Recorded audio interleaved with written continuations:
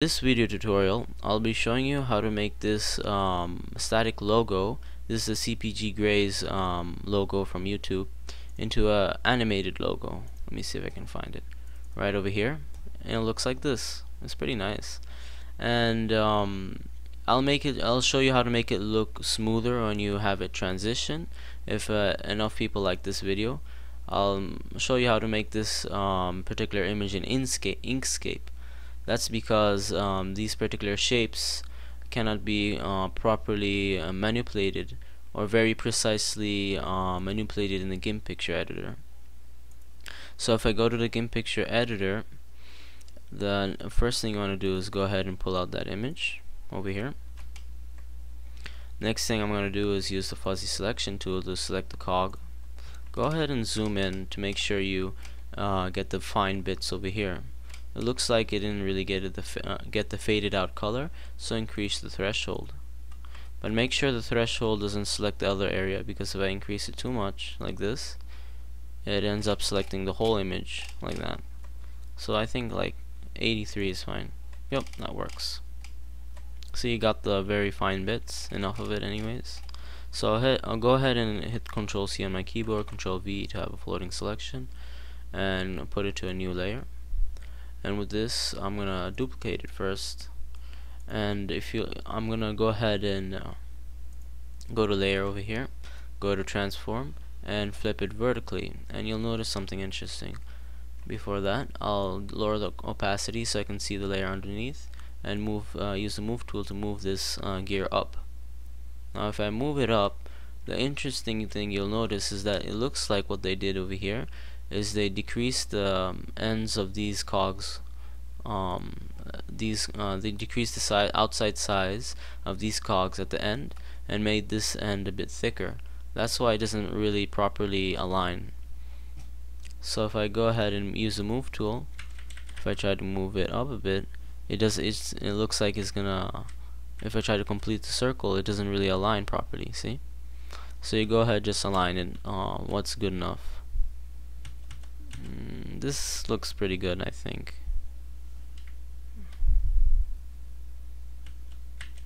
Yeah, it doesn't really align properly with the cogs. Yeah, this is the best I can get out of it.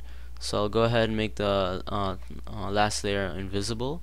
Make the top layer uh, full opacity. Whoop, like that. And I'm going to go ahead and make a new one from visible. What's visible? Oh, before that. Actually, before that because I don't uh, want to see this uh, extra area, over here. In case anything um, weird like that happens I'm just gonna go ahead and crop the extra shape out. I don't want to have a weird looking cog. So this is uh, current layer only. Make sure you have the top layer selected and just um, uh, cr crop the top half. We don't want it to mess with the bottom half. So like that and then if I now if I make the new from visible we have the full gear to work with. Full cog. See? Well, it doesn't look too bad. Now the next thing you, you're going to have to do is copy uh, make a copy of this uh, particular image so that when the, we rotate the wheel it looks like the wheel is rotating underneath or um, you know so go ahead and use the rectangular selection tool, make a rough selection of this area, like so. And then what you what you're going to have to do is zoom into this cog over here and align it with the cog, like so. See, like that. And do the same with the other side. Pull this over here.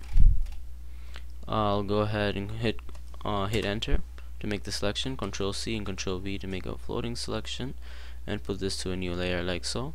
And now with this uh, layer you'll see that this um, uh, middle cog the middle layer um, will it doesn't look too bad like this. So that if I go ahead and rotate it it looks like it's rotating um, in place without overlapping if you will over the jar. Where's the rotate? Okay so this is a rotate tool. And another thing you'll have to do is get uh, get rid of the cog from the original picture. That just means uh, separate you'll need a separate layer for the background a separate layer for the jar. So let's go ahead and use the fuzzy selection tool to uh, select the jar. Mm, actually, actually, we can just get rid of the cog and that would be enough. So I'll go ahead and make a copy just in case and then go ahead um, use the dropper tool uh, select this color over here. Then use uh, let's see. The brush tool where is it? There it is. And go ahead and make a really big brush like this and just get rid of the cog like that. So it's not like uh, the background color isn't like a really black black. It's like a slightly gray but really black. I mean it's slightly uh, off black alright. So we can I guess we can get rid of this cog over here. Before that let me check make sure that everything yep. Alright looks like everything is in place. So the next thing you're going to do is go ahead select the middle cog over here. Or middle layer I should say. And uh, choose a rotate tool. Before I start rotating that cog I want to right click and make new from visible. Choose the middle um, or the cog uh, select uh, selected. And I found that if it makes one full rotation like this it's about looks like this time it's about 36 degrees like so. And so before I do that I'm gonna go ahead and rotate it just a bit so it doesn't look off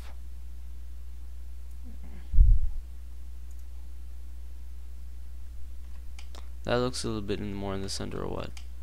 Never mind. Uh, I guess this is as uh, much in the center as it's going to look. So I'll go ahead and see what it give me a second. So okay. For the middle it takes about 37 degrees.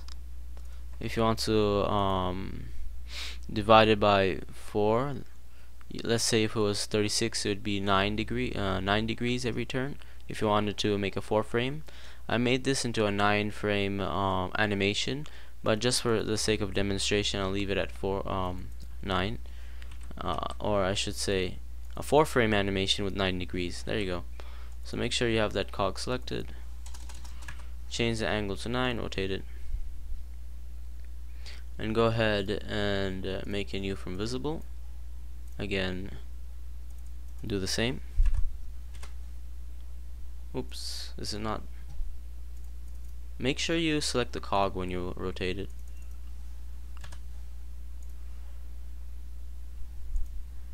is it not working cancel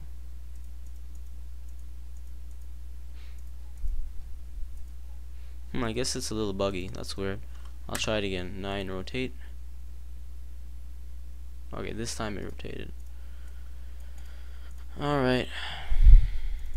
So 9 degrees. Make sure I have this selected.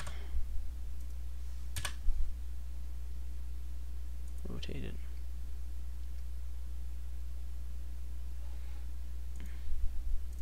Make sure you uh, right click and select new from visible to make um, every step of the animation and cancel that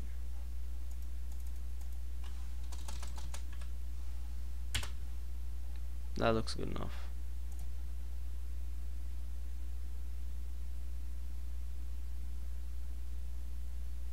Hmm.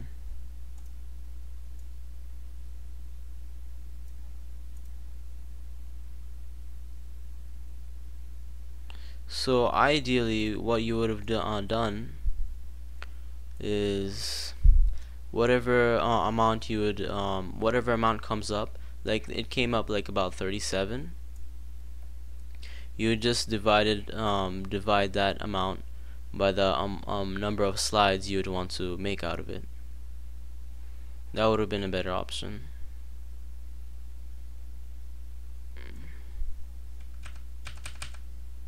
Yeah okay I'm, I think this is good enough. Okay. Go ahead new from visible and then you want to just uh, get rid of the top three layers. You don't need those. Those are redundant oh, not redundant just in the way. And let's see. I'll um, get rid of the mid-frame animations. I guess I'll get rid of the bottom one. We don't need that. That's also redundant. So you have this uh, four frames. All you have to do is go to um, file. Or let's let's you let's see if we can test it first. I think this um, picture is a bit too big but let's see. So go to filters go to animation right over here go to playback. Yeah it's a bit too big but you'll notice uh, it does indeed work. So I'll go ahead and export this and show you properly. Go to export as and gray gray. Export this. Make sure you export the with the in, um, extension GIF. Go ahead and export it this menu comes up. Make sure you select as anima um, as an animation and it loops forever for since I have only four frames it's okay if the delay between frames is more. But if you have a lot of frames you want to make this like a smaller number and uh, test it out and see what works for you. So while go ahead it's going let's see. Alright so let's see. Over here we have the animation oh we forgot to loop it. Give me a second. File. Export as. Export. Replace. Make sure you choose loop forever and go ahead export it.